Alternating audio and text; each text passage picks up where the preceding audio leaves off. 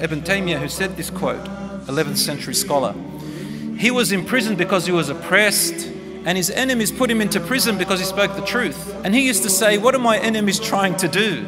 My paradise is inside my heart wherever I go. He said, If you imprison me, it is my seclusion with my Lord. If you exile me, I'm on tourism with my Lord. If you kill me, I'm a martyr and I reunite with my Lord. It doesn't mean you can do anything to me. Something about these special people, no matter what you do to them, Alhamdulillah, they'll still keep going. And this is what we want to reach, brothers and sisters. Where whether you make wealth or you don't make wealth, Alhamdulillah, you're still wealthy on the inside. Whether things work for you or don't work for you, you're still wealthy on the inside. People take away, people die from your or they live, you still got that inner peace and that purpose which you're living for. You see, brothers and sisters, you'll always have Allah. And He has put you here for a reason, and you are born not out of mistake. You are deliberately put here, and there is a purpose for you, and you have come from somewhere. You live here because of something, and you're going somewhere.